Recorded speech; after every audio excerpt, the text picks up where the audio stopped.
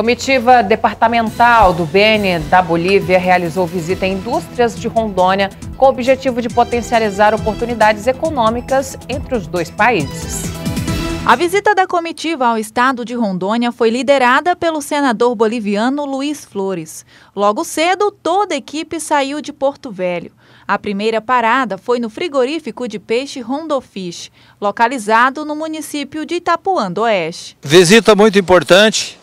Eu acho que é a oportunidade que a gente tem de mostrar o produto da nossa terra, o produto de Rondônia, Tambaqui, que é um produto muito bom, de, de muito boa qualidade.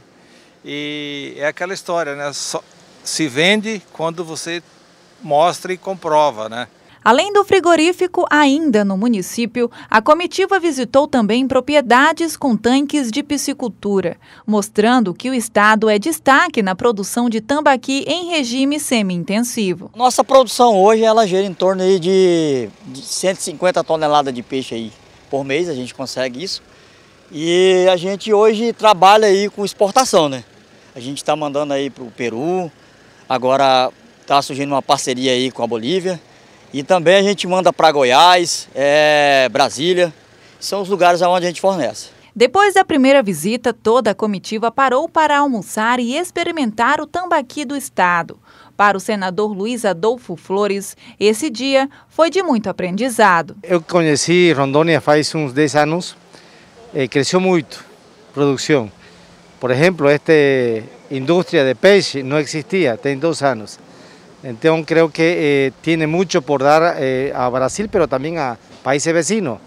Y está muy perto aquí Bolivia. Por eso creo que podemos nós bolivianos aprender y hacer negocio con Brasil, con Rondônia, e creio que também Rondônia necessita e precisa. Logo após, a próxima parada foi na indústria Sustenutri do Grupo Rovema. E essa visita representa um novo conex, uma conexão com, com o país da Bolívia.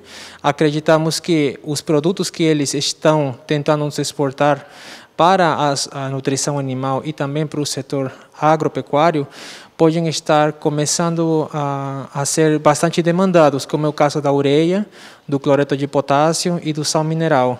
E essa visita hoje, liderada pelo senador, demonstra essa, esse vínculo que está se construindo e fortalecendo, com, não, só, não apenas com o nosso Estado, como também com a Sustem Nutri. O empresário Francisco Holanda, que recebeu e acompanhou toda a comitiva, vê o momento como uma grande oportunidade. Dessa vez, acreditamos que, possa, que poderemos avançar, pois foi proposto a criação de um comitê Brasil-Bolívia para discutir os gargalos, o que for de, de questão nacional.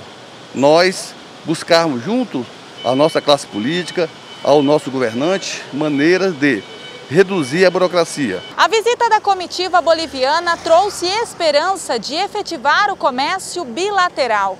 Agora, o próximo passo já está agendado.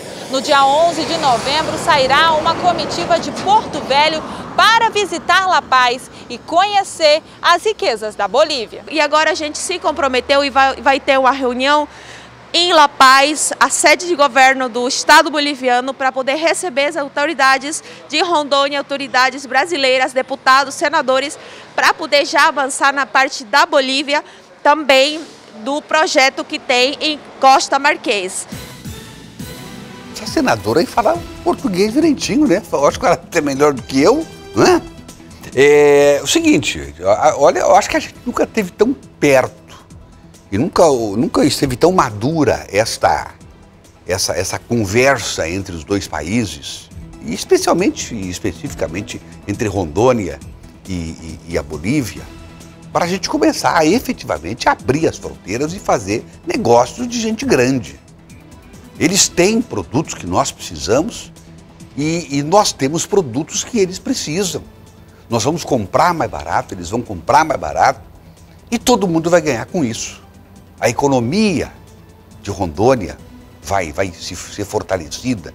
Então é preciso que se continue com essas, com essas relações que estão acontecendo aí agora a partir desse comitê que vai ser formado, como disse o Chico Holanda, e a gente imagina que não pode haver nenhum óbice do, do, de parte do governo federal, pelo contrário, o governo tem que, tem que estimular que, que a gente consiga efetivamente abrir as porteiras e, e fazer com que os negócios possam fluir entre os dois países. E com relação ao, ao, ao, ao que disse aí o, o nosso querido Plínio Carlotto, é, lá da Rondo Fish, eu, eu conheço o produto, eu conheço aquele tambaqui. É insuperável.